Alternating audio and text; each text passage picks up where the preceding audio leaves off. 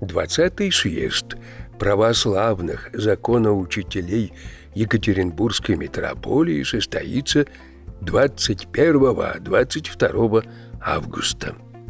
Традиционный образовательный форум посвящен теме 80-летия Великой Победы, память и духовный опыт поколений.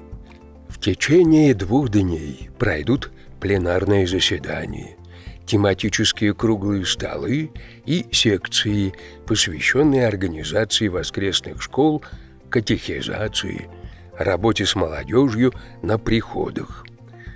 Участники представляют новые методические разработки, обмениваются опытом педагогической работы на приходах, подводят итоги проделанной работы и выстраивают перспективу на новый учебный год. На мероприятие приглашаются руководители и преподаватели воскресных школ Нижнетагильской епархии, в том числе преподаватели церковного пения, ИЗО и ДПИ, родители и активные миряне, помогающие в деятельности воскресных школ, катехизаторы, люди, работающие с подростками и молодежью –